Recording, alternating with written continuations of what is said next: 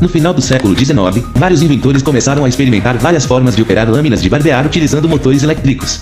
Embora os primeiros protótipos ainda fossem demasiado grandes e pesados para serem práticos, em 1928, graças à contribuição do engenheiro americano Jacob Schick, foi feita e comercializada uma máquina de barbear elétrica muito compacta e prática, que também alcançou grande sucesso através da publicidade inovadora e agressiva que a acompanhou. Nos anos seguintes, grandes empresas internacionais de eletrônica de consumo como a Philips, Brown, Panasonic e Hamilton começaram a desenvolver e produzir máquinas de barbear elétricas, levando a sua difusão em massa a nível mundial e a sua constante melhoria, que ainda está em curso. Os dois principais tipos de máquinas de barbear elétricas são a máquina de barbear de lâminas e a máquina de barbear com cabeça rotativa. Cada uma delas tem os seus próprios méritos e deméritos. A máquina de barbear é um tipo de máquina de barbear que oferece um barbear muito próximo devido à sua cabeça plana equipada com várias lâminas que cortam os pelos com grande precisão. Este tipo de máquina de barbear é especialmente boa para quem tem barba fina e direita ou para quem procura um corte de precisão. No entanto, é importante notar que pode ser menos eficaz em pelos duros ou grossos e requer uma barba mais lenta e suave para evitar irritação da pele. Por outro lado, a máquina de barbear de cabeça rotativa apresenta uma cabeça que se adapta melhor aos contornos do rosto, oferecendo uma barba mais rápida e mais confortável. Este tipo de máquina de barbear é ideal para quem tem barba grossa ou frisada.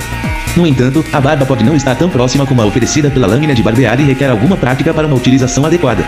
Em geral, a escolha entre uma lâmina de barbear ou uma lâmina de barbear de cabeça rotativa depende da preferência pessoal e das características da barba de cada um. Se procura uma lâmina de barbear extremamente próxima, a lâmina de barbear pode ser a melhor escolha, enquanto que se procura uma lâmina de barbear rápida e confortável, a lâmina de barbear de cabeça rotativa pode ser a escolha certa. É importante considerar ambas as opções e pesar os méritos e desvantagens de cada uma antes de fazer a sua escolha final. Além disso, os dois tipos de lâminas de barbear têm técnicas diferentes de usar. A lâmina de barbear requer movimentos lineares enquanto a de cabeça rotativa requer movimentos rotativos. A lâmina de barbear que estou a usar é uma lâmina de barbear Panasonic SRT37. Uma das suas principais características é a presença de três lâminas afiadas e fortes que lhe permitem cortar até os pelos mais difíceis. Além disso, as lâminas podem mover-se em três direções diferentes para se adaptarem à curvatura do rosto, garantindo um barbear rente e confortável.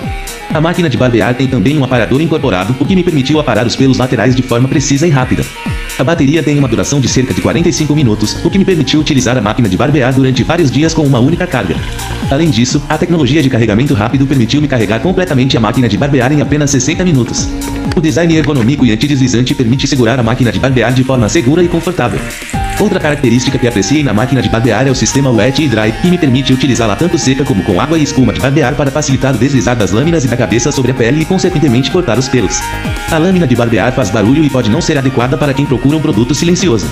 Além disso, a lâmina de barbear do tipo lâmina de barbear, como mencionado anteriormente, não é ideal para barbas duras, espessas e frisadas e que a lâmina de barbear pode não ser adequada para todos os tipos de pele, particularmente pele sensível.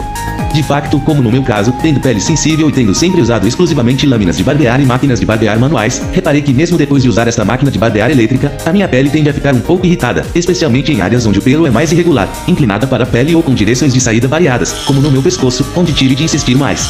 Portanto, deve-se usar a máquina de barbear com cautela e prestar atenção à pele antes, durante e depois da barba, talvez aplicando um pouco de óleo pré-barba, espuma de barbear e aftershave. No entanto, uma vez passada a irritação da pele, a barba parece uniforme e profunda com todas as toupeiras, verrugas e angiomas no seu lugar habitual, e talvez um suave efeito de esfolamento ajude a regenerar a pele. Em conclusão, a máquina de barbear Panasonic SRT37 é um produto bem construído com excelente relação qualidade-preço, especialmente quando em promoção, oferecendo muitas características e um desempenho acima da média, tendo em conta a gama de preços. A sua cabeça multidireccional, três lâminas afiadas e aparador incorporado fazem dela uma ferramenta versátil e prática para barbeação diária. Apesar de alguma irritação por uma pele mais sensível e não habituada a máquinas de barbear elétricas, é sem dúvida eficaz, confortável e fiável, talvez perfeita para aqueles que querem recriar a experiência ritualística da barba com espuma de barbear e uma lâmina de barbear manual, mas com os benefícios da tecnologia. Se ainda não o fez, por favor partilhe, comente, por exemplo, veja os outros vídeos, ofereça um super obrigado, e para ter a certeza que não perde os próximos vídeos e me seduzir a fazê-los, por favor subscreva o canal. Tchau.